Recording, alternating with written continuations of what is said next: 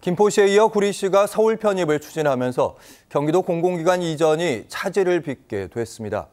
구리시로 예정된 경기주택도시공사 이전이 도마 위에 올랐습니다. 윤종화 기자입니다.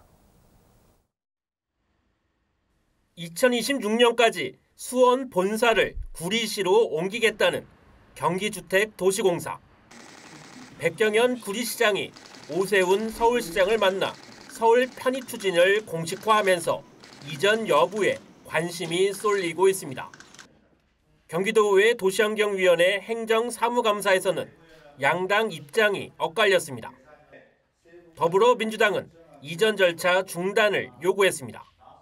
진행 조절을 중단시키고 예산의 중복 투자를 막아야 된다라고 생각을 해요. 좀 무책임한 구리시 행보에 대해서 GH가 경기도의 공공기관으로서 분명하고 또 강경한 입장을 좀 구리 출신인 국민의힘 의원은 정상 추진을 주문했습니다.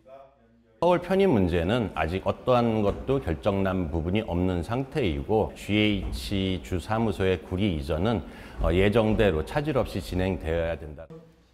경기주택도시공사는 당혹감을 감추지 못했습니다.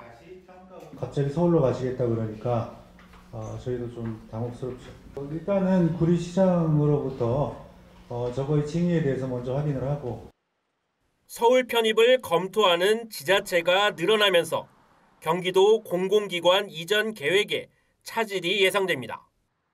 고양시로 이전이 예정된 공공기관은 경기 관광공사, 문화재단, 평생교육진흥원 등 세 곳. 고양시가 서울 편입 여론 수렴에 나서기로 하면서 이들 기관의 거치도 불투명해졌습니다. 김포시도 경기 환경에너지진흥원이 지난 2021년 문을 열었는데 서울에 편입되면 이전이 불가피합니다. OBS 뉴스 윤종아입니다.